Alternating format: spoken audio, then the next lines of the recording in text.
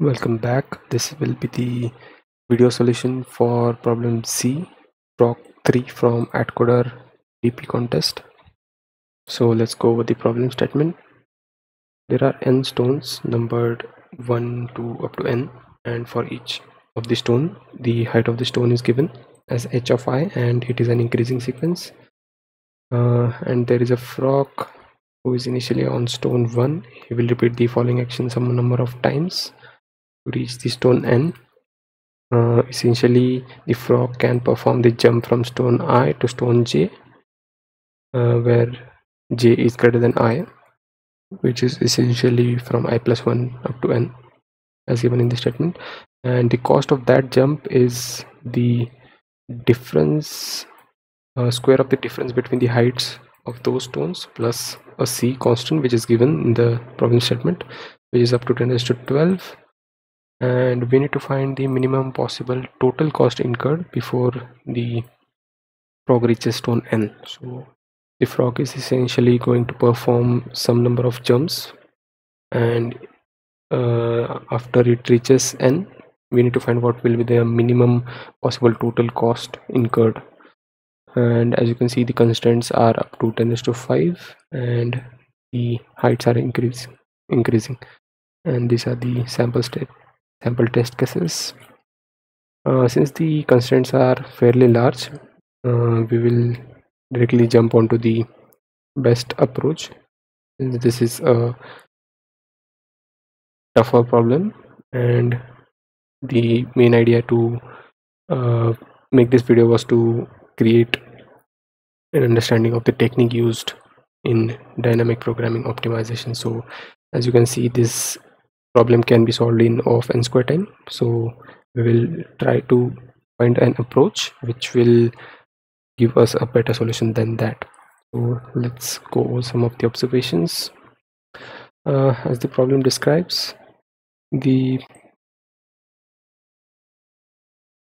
jumps that uh, the frog can perform uh, from index i to j will be uh, denoted by these lines from left to right from any index i it will jump to any index j which is greater than i.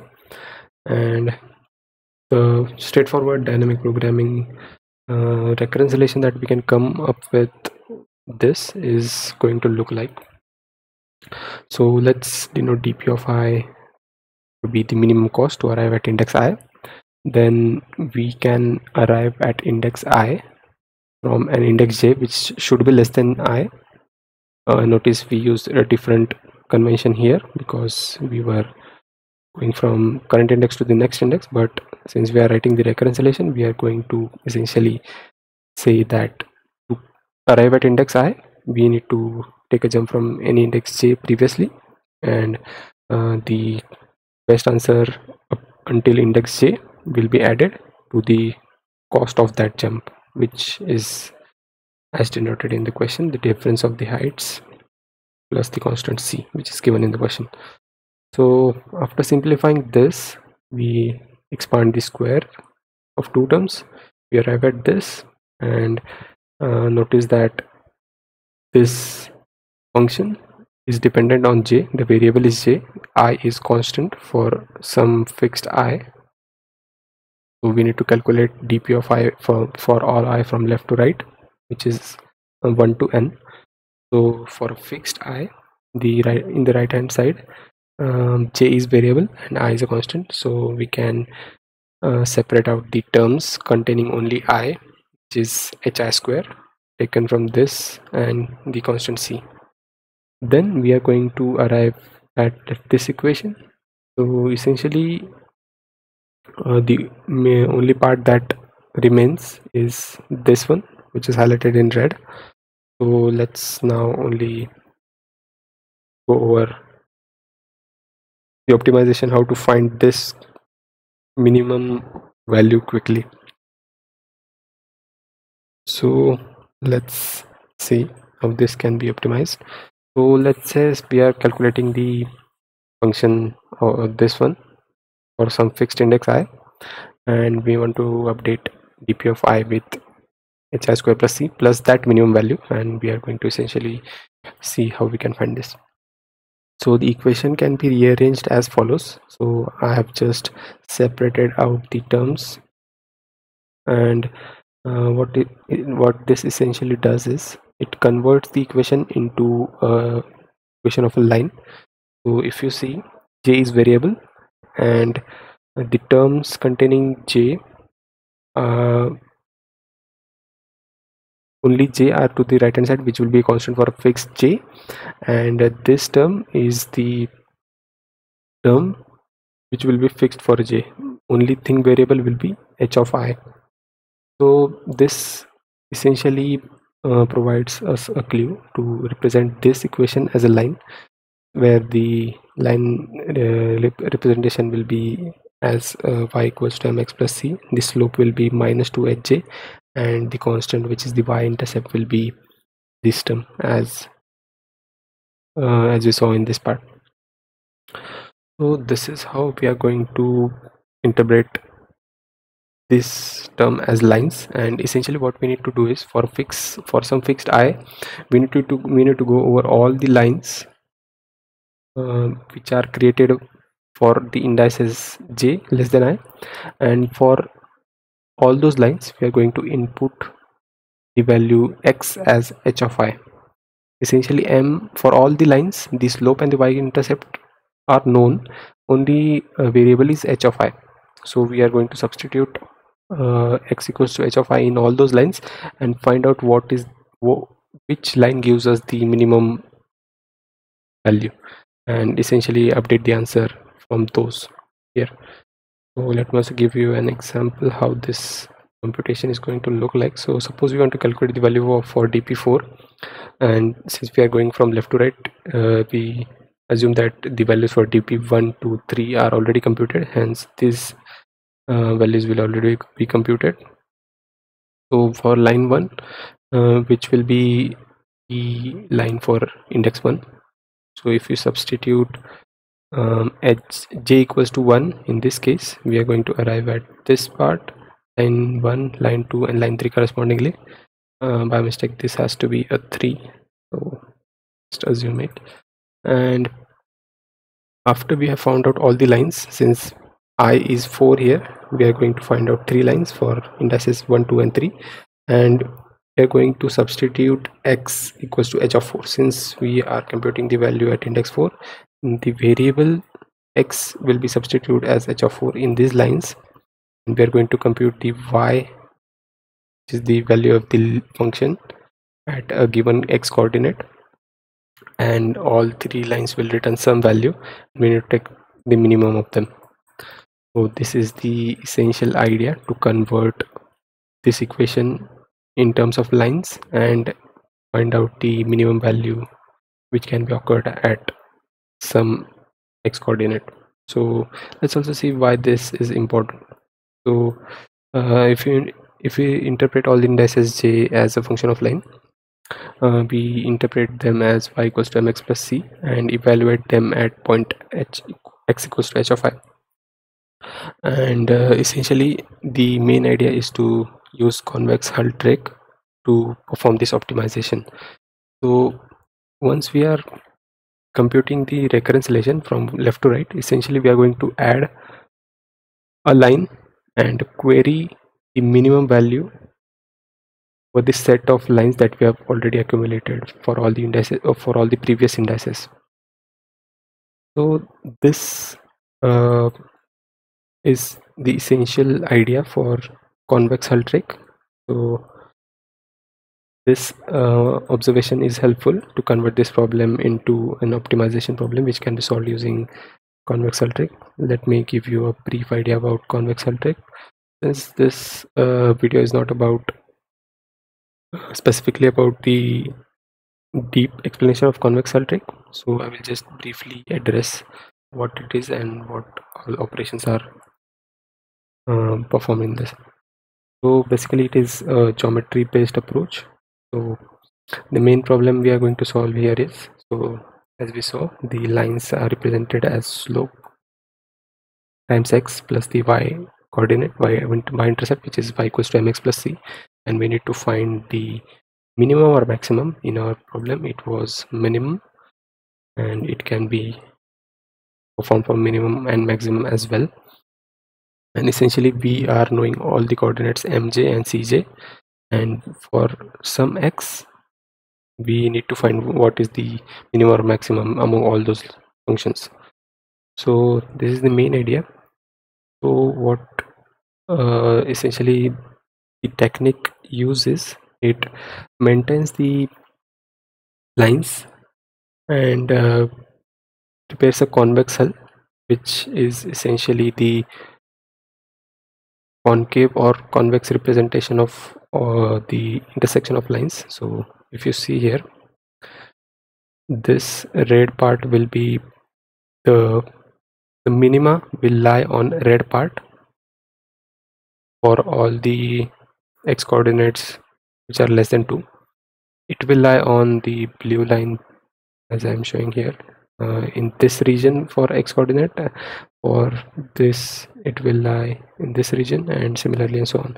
Some lines are uh, irrelevant so this is the main idea to uh, maintain a convex hull and find out what line is uh, responsible for the minima in a particular region.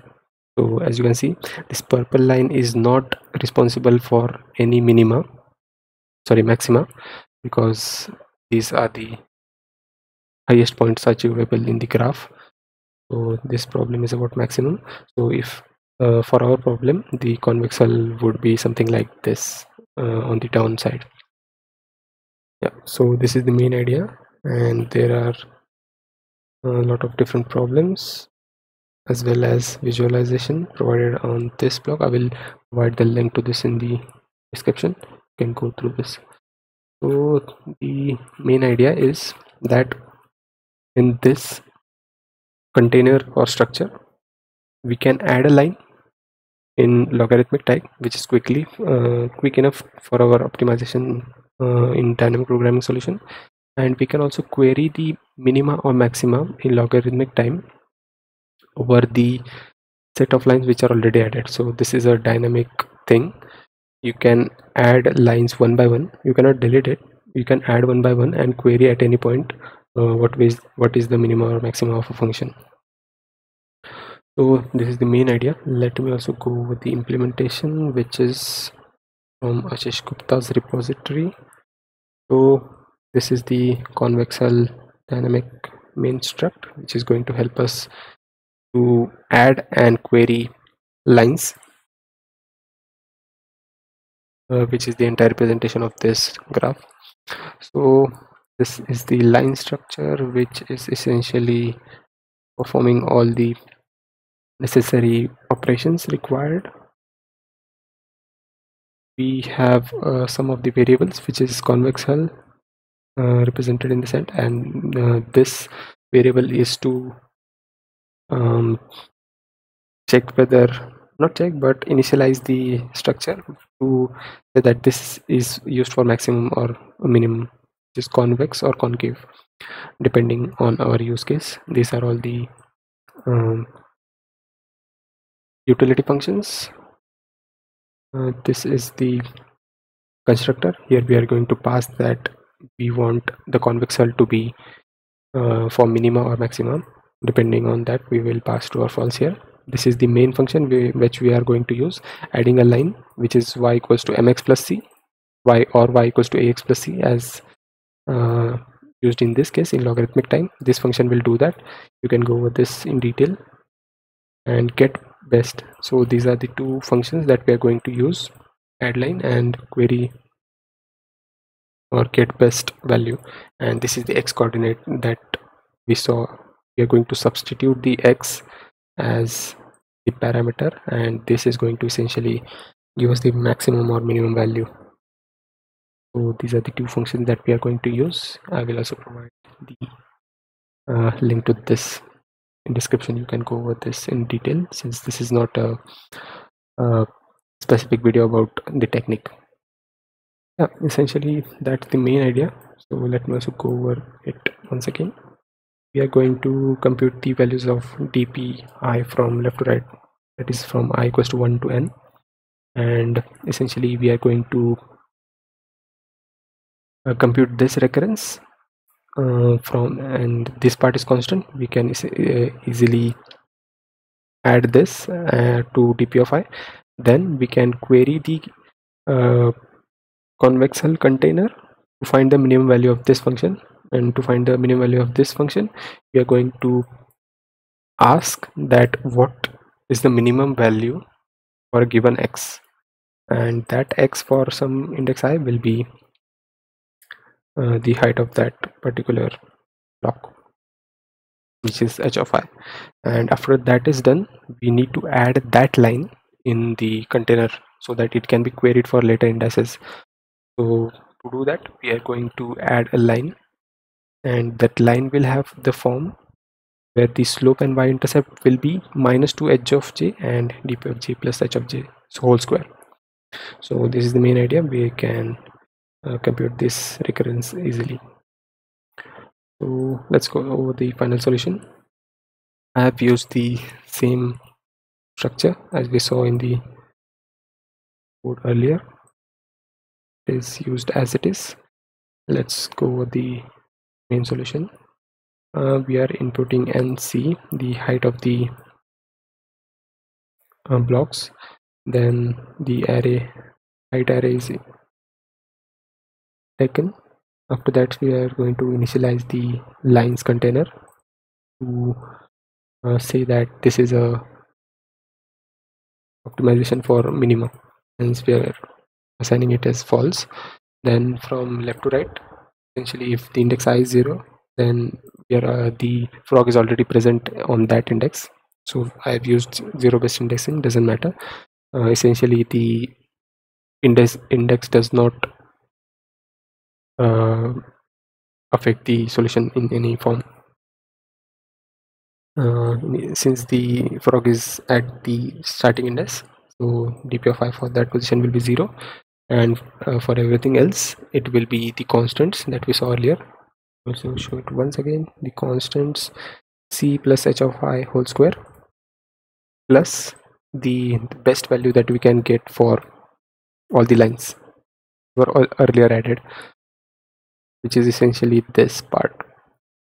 And this will be given by the container or convex hull trick that we checked earlier and after that we are going to add a new line which represent the index i but after we move to the next index i plus 1 this will be used to optimize the answer for the later indices.